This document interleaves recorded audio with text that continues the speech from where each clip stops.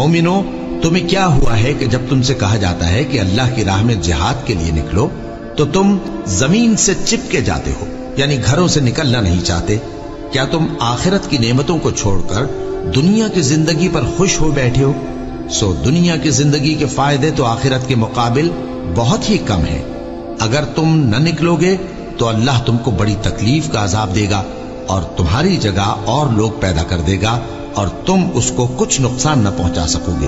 और अल्लाह हर चीज़ पर कुदरत रखता है। और जो लोग सोना और चांदी जमा करते हैं और उसको अल्लाह के रस्ते में खर्च नहीं करते, उनको उस दिन के अजाब अलीम की खबर सुना दो।